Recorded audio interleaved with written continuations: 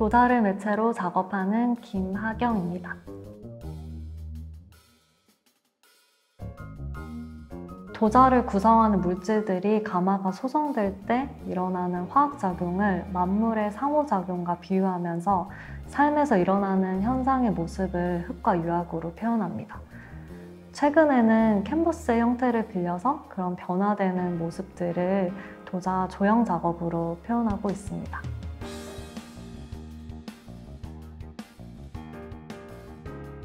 도자의 제작 과정이 생명의 삶과 닮아 있다는 생각을 하게 되었어요. 마치 생명체의 유전적인 요인처럼 도자를 구성하는 원료들이 지구 곳곳에서 저한테 모이게 되고 그 종류와 혼합 비율에 따라서 도자의 성격이 결정이 돼요. 그 기술에 따라서 도자를 다루는 방법 또한 달라지고요.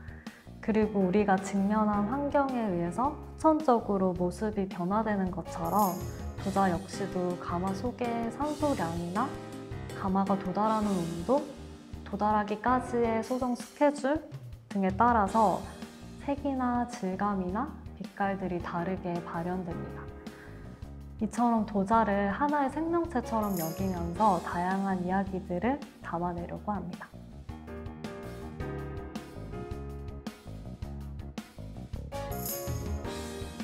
가마 안에서 그 원료들이 서서히 멈춰진 모습들을 감상하면서 그 정지된 시간을 느껴보셨으면 좋겠어요.